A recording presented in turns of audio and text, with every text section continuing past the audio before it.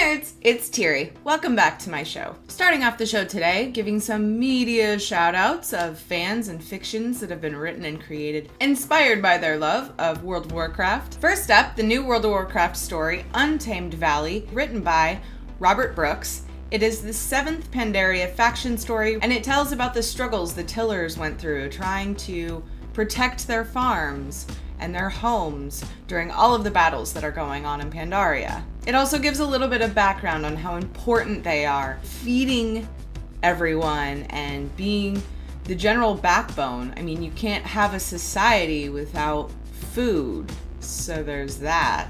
Next up, Carbot Animations premieres Wowcraft. Episode 1 The Creation. It's about a poor orc who's just trying to start his life in the world of Warcraft and just runs into all of these obstacles. It's very cute and sad, more cute than sad. Check it out in the link below. Carbot Animations is a very creative. If you guys ever need like a voice person, you know, I I've always been interested in being a voiceover actress.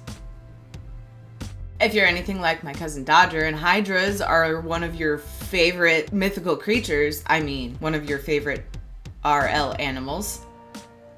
Be excited to play a hunter come Warlords of Draenor for World of Warcraft because we have seen that we should be able to tame hydras as hunters. Last week on Twitter, we saw a response from Joey Wallace, professions designer for World of Warcraft, to a question asking, will Spirits of Harmony become BOE come 6.0?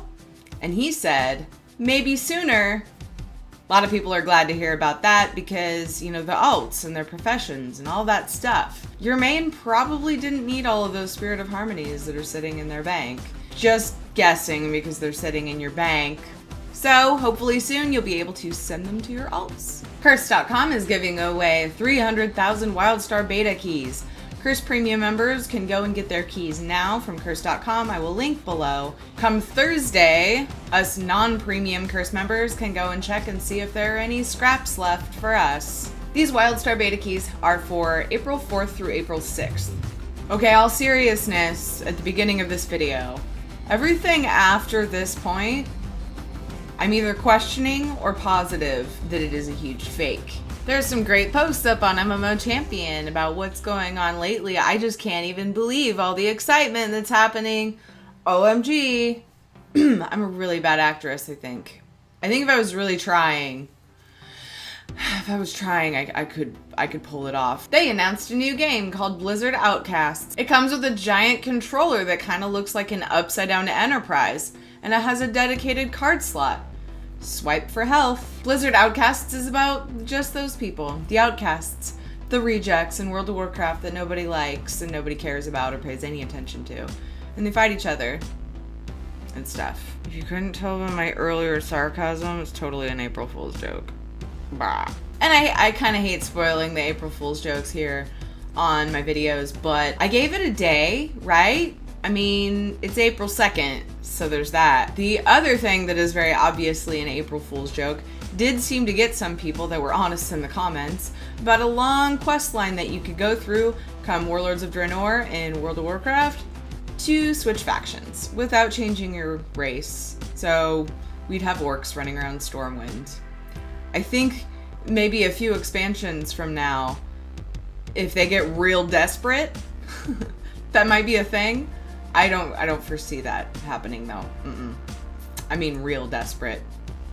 Like free to play desperate. Blizzard has their very own April Fool's joke on their web page and it is not cool. It hit home with me for about a split second and then I went, "Uh-uh, Blizzard is not going to betray me like this."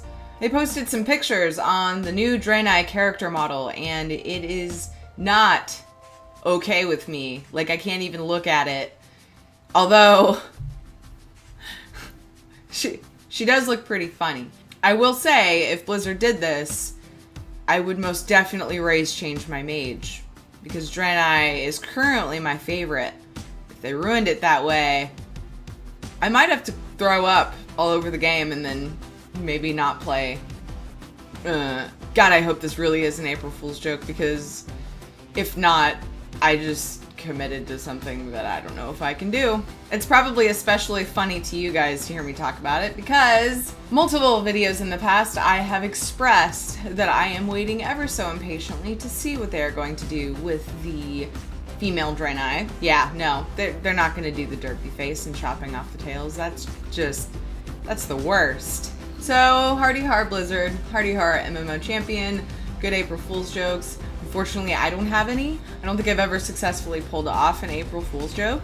But I hope you all are having fun doing your own, all you jokesters. Me, I just get to go to work and hope that nobody picks on me for April Fools because I'm pretty, pretty easy to mess with, I think, depending on what it is. Well, that is my show for today. Thank you so much for watching. I appreciate your support. Check back every Wednesday for news and gaming videos in between.